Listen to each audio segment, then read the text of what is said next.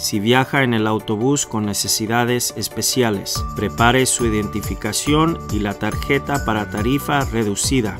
Hágale saber al conductor de las necesidades especiales que usted tenga. Si no hay asientos disponibles y siente que no está seguro estando de pie, informe al conductor de inmediato. Comuníquele al conductor dónde bajará. Si usa silla de ruedas, informe al conductor sobre los mejores lugares para ubicar las correas de seguridad. Sujete sus pertenencias de manera que no interfieran para asegurar la silla de ruedas y solicite al conductor que utilice el cinturón de seguridad y el cinturón cruzado. Usted está en un vehículo en movimiento que constantemente cambia la velocidad y la dirección. Sosténgase siempre. Para más sobre seguridad al viajar en autobús, visite octa.net.